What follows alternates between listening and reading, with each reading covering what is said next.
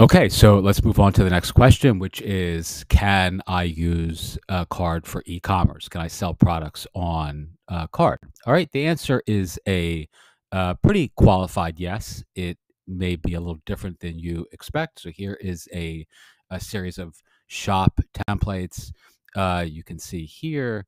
So if I just pull one up, this is a landing page template with um, it has four links. They are anchors. So essentially, the landing page links to a course page, a case studies page, follow me on Twitter page, and a shop page. And obviously, you would modify something like this for clients, but let's click on shop and you'll see it brings up this uh, template with that's actually an anchor. So this is actually like a one page site that gives you a shop functionality. So uh, these are uh, fictional uh, beach coloring books, one, two, and three, each with a you know big prominent button, and they're designed to actually promote uh, products that you're selling on other platforms. So Gumroad, Lemon Squeezy, uh, you know our Mindful Marketplace course platform, etc. So let's look really quickly.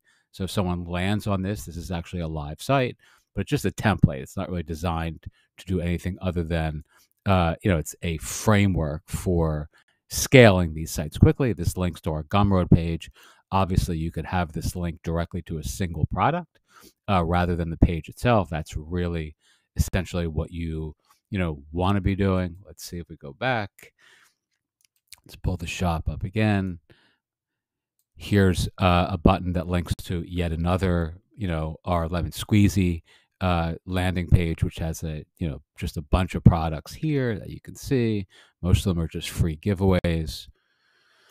And then finally, this one here links, I think, to just our Mindful Marketplace platform. And it does. So this is the main, you know, landing page for our, you know, WordPress-based community. All right, let's go back.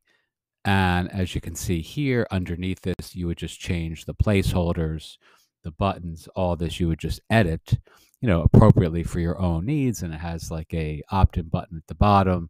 So it's, you know, fairly simple, uh, functional landing page or, you know, landing page template for uh, shops, right? Or actually for all these different things. You can, you know, you can have uh, courses, you can have case studies, you can have anything that you want, and they're all done by anchors, right? So as you can see here, this links to the course page, you know, course template page, you know, etc., etc., etc. But the uh, rub here, which may be the thing that you're wanting to know, is you can't actually deliver the products on Carrd. Like Carrd doesn't have, you know, the functionality, at least that I know of, that allows you to deliver, you know, products, right? You have to integrate it with some other external service like Gumroad, Lemon Squeezy, uh, you know, or anything, WooCommerce, a Stripe link, a PayPal link.